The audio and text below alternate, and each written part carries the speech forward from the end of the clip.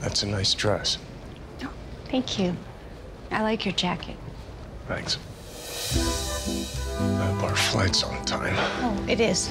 Great. I'm sorry, what was that? What? You just took a step forward there. I didn't.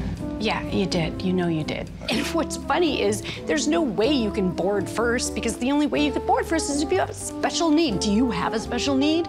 Yes. I need to be over there. What brings you to Paso Robles? I'm going to that destination wedding. Please don't tell me it's Keith and Nance. So we're just the people you don't know where to stick? You might as well just stick us together. I don't want to be a person you don't know where to stick. Destination wedding is presumptuous. They're in a fool's paradise. Don't you believe there's someone for everyone? Close. I believe that there's nobody for anyone.